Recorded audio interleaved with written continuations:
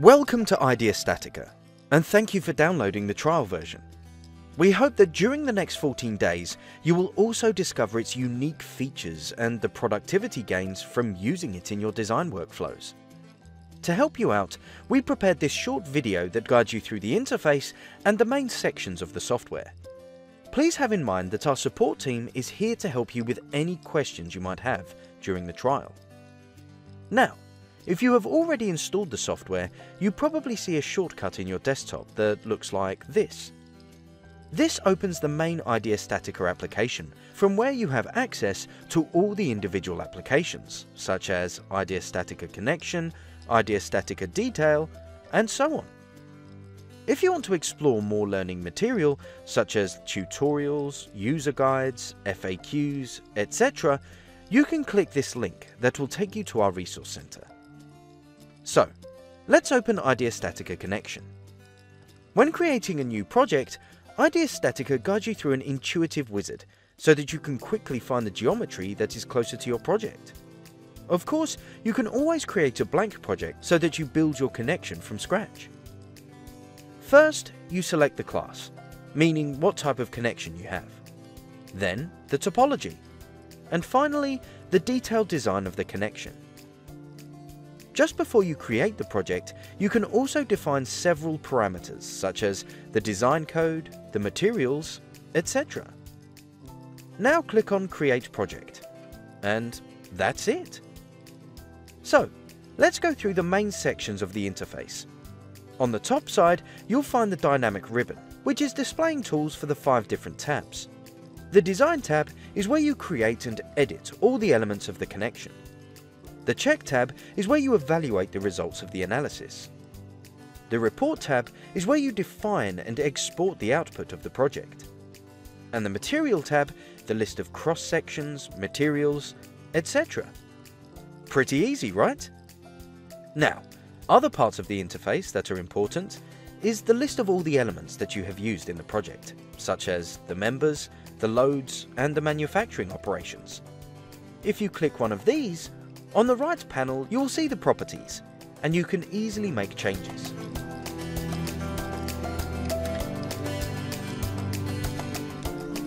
And, of course, if you want to navigate through the 3D model, you will find all the tools in the upper side of the main window, the navigation cube, the solid, transparent and wireframe model of the connection, and other view settings. Now, let's go ahead and make some additions to this connection.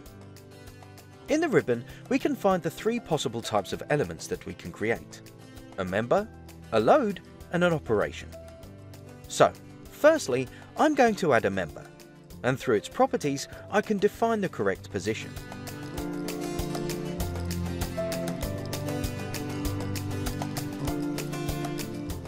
Then I'm going to add a force in the existing load effect. We can of course add a new load effect or we can even import load effects from an Excel file or an existing project. And finally, I'm going to connect this member with the main beam by using a new cut operation, which also creates automatically the weld.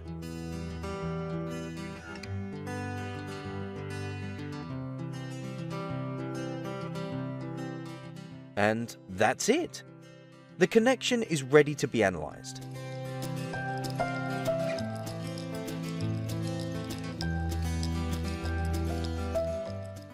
After the analysis is finished, we can go to the Check tab, where we can see the overall check that basically says if the connection has passed the checks. We can look deeper into the results for the elements of the connection, such as the plates, the bolts, and welds.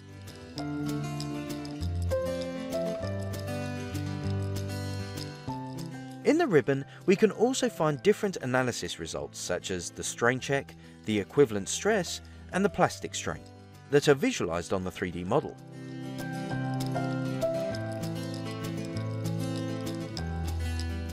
Finally, we can go to the Report tab, where we can export the detailed output to PDF or Word. Of course, we have the option to enable or disable different sections of the output, depending in the needs.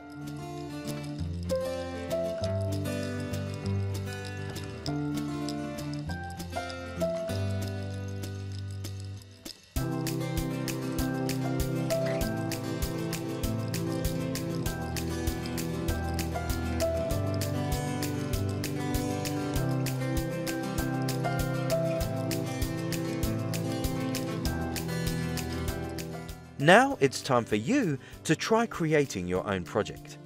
And don't forget, if you need any help during the trial, feel free to send us an email at support at ideastatica.uk.